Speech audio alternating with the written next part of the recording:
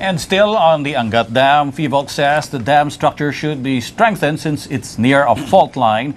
FIVOLC warns many lives could be at risk if the Angat Dam gives way when a powerful earthquake strikes. And for our discussion tonight, we're joined here in the studio by Obando Bulacan Mayor Orencio Gabriel and on the line by Kalumpit Bulacan Mayor James De Jesus. Now you can also join our discussion. Please send us your comments and questions through Twitter using the hashtag primetime or post them on our face- Facebook page, ANC 24-7. Good evening, Mayors Gabriel and De Jesus. Welcome to Primetime on ANC. Ah, good evening. Go for it, Tony. All right, uh, Mayor De Jesus, magandang gabi po. Kamusta po kayo? Ah, good evening po, sir. Um, ma'am, uh, kay Mayor ah, Gabriel. At ah, okay po kami, medyo nakakabangon na. Mhm. Ah, six barangays na lang ang ah, totally submerged. Yung pong ah, the rest ay ah, partially submerged na lang. Mhm. Ang kuryente po ay meron na kami ang 40%. ang tubig, mga 75 to 80% na po. So, ah, things are getting back to normal, sir. Mhm. Eh, yung akala ko yung sasabihin yung medyo nakakabango na ang tinutukoy niyo yung sarili niyo dahil kayo po ata medyo may karamdaman na rin dahil sa pinagdadaanan ninyo.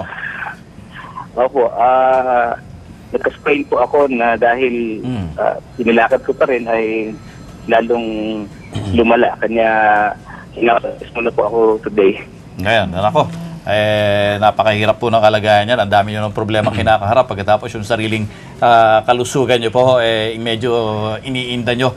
Mamaya-maya po tatanungin po namin kayo kung ano po yung pwedeng maging ah, ah, pangmatagalang solusyon diyan sa nararanasan yung kalamidad ano. Pero dito po muna tayo sa ating panauhin ah, si Mayor Gabriel.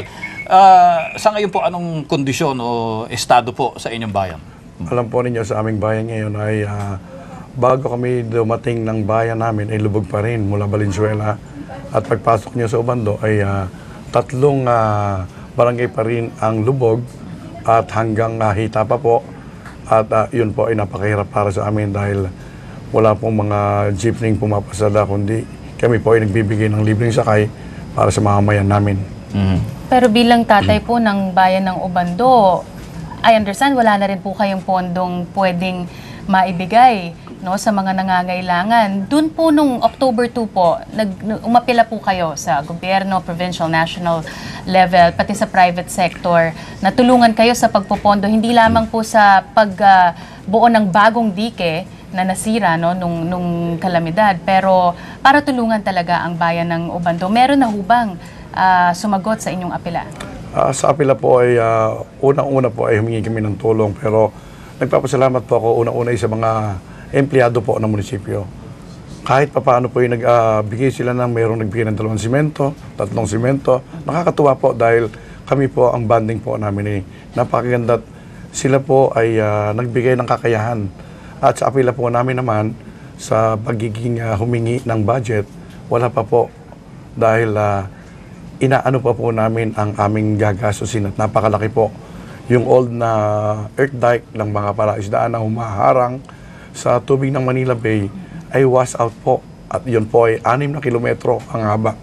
Kanya nga ah, kung anong kalaki ang tubig sa ba, sa ilog sa Manila Bay, kapantayan po ng aming bayan. kasi Tony nung una nung iniestima nila yung damage dun sa dike the the estimate was at 30 million pesos. Pero ngayon umakyat na sa 50 million at Opo. tingin niyo po elolobo pa itong presyong ito Opo, lalaki pa po dahil hindi na po namin gagawin yung earth dike ng ah, mga private ah, fish fund dahil sila lang po ang nakikinabang noon. Dahil ayoko pong gastusin ang pera ng taong bayan para sa pribadong palaisdaan. Ibig ko pong ilagay kung ako ang susunod, ang diki po ay ilagay po natin sa katabi ng barangay.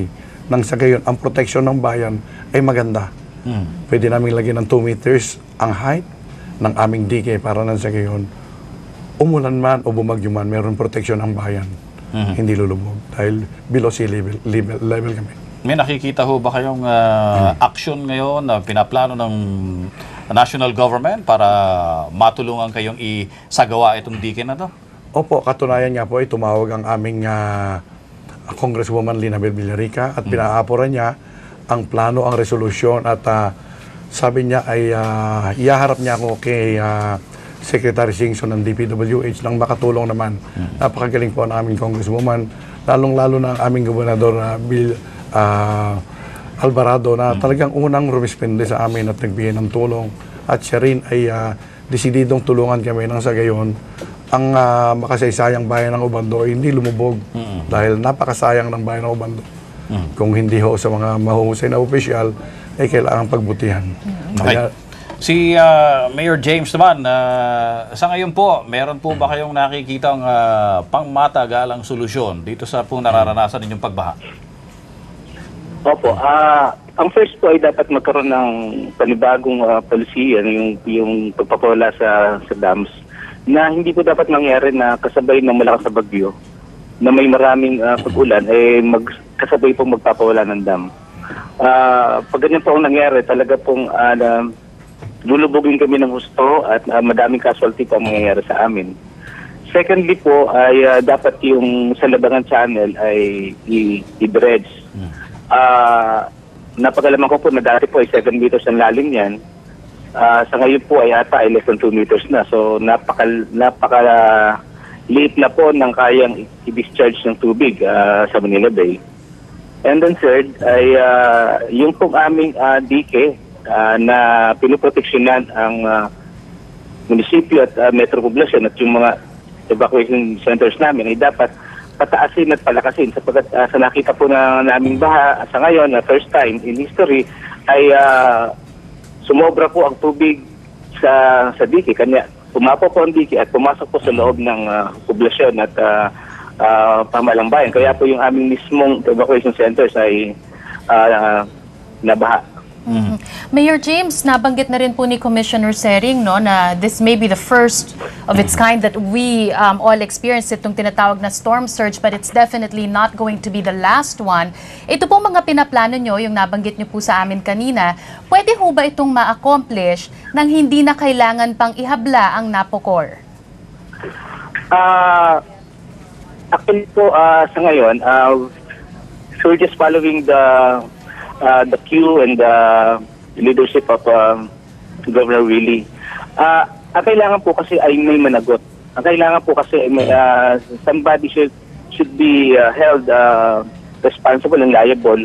Yung po sa mga sa nangyaring hindi tamang pagdedesisyon po ng pagpapawa- pagpapawala ng dam sa gitna o simultaneous sa isang malakas at maulang bagyo. Ah, yung pong ah, isinasagawang ito ay ah, yung pong mga pagpapalalim ay dapat pong isagawa sa tulong po ng national government at yung pong ah, protective dike namin dapat palakasin. Pero hindi din po ito magtatagumpay kapag naulit po ulit ang naulit na kapag malakan, may malakas sa bagyo at saka sabay silang magpapawala ng tubig sa mga dam. Mm-mm. Matanong ko yung parehong tanong kay ah, Mayor Gabriel. Tingin nyo ba kailangan ba talagang ihabla itong NAPOCOR? Or pwede naman sigurong, kasi first time naman to nangyari, baka we can create, you know, a system without suing any institution? Mayor? Pero sa nakikita ko riyan, kung mayroong pagkakasala ang isang kumpanya o isang bagay o isang tao, dapat lamang na matuto sila. Nang sa gayon, ang mga pinsalang ibinigay nila ay hindi na makulit dahil napakaraming pinsal ang naganap. Hmm. Pero wala naman ho umaamin ano, doon sa mga na, namamahala sa mga dams natin na yun ang nagiging sanhi daw ng pagbaha. Lagi naman pong walang maamin eh. Lagi naman pong ganon. At ang kailangan, patunayan sa court. Court lang magpapatunay kung sino ang mali. Mhm.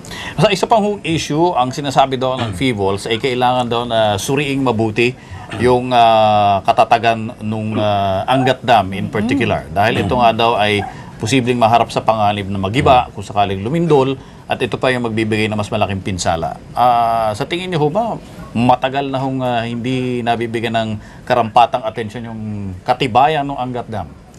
Ah, para sa akin po, na kasi malayo po kami dyan, at ah, sa nakikita ko po ay ah, sa panahon na ito ay binibigyan pansin ng ating gobernador ang ating Angat Dam dahil ah, dyan tayo nabubuhay. Tubig, kailangan ng tubig ng tao. Dahil sa tubig na yan, namamatay din ang tao pagka sumosobra. At ang kainaman dyan ay nabibigyan ng pansin ng ating gobernador dahil lahat ng iyan ay dapat nasa sa tao ang paggawa. Mm, mm. And si Mayor James, ah, ito pong ah, babala ng FIVOLS na kailangan nga daw na mas suriin itong ah, Angat Dam. Naniniwala ho ba kayo na may panganib nga na baka ito ay gumuho kung lumindol? Opo, ah ito na po yung panahon para yan ay ah, bigyan pansin. Um, matagal na po, ah, 1968 po yata, ito na yung ang, ang gatam at matagal na pong panahon na ala pong improvement o ah, ah, pagpapalakas ah, structurally na nagawa sa Angat Dam. Ito na po ang panahon na yun kasi sa nakikita po natin ah, all over the world, no, ibang klase na po ang, ang kalamidad na na na dumarating sa atin at hindi po natin pwedeng sabihin na oy ah, hindi naman yan na nangyayari. Ah, yung pong mga hindi nangyayari dati, eh, nangyayari na po ngayon. So, dapat lang po maging handa.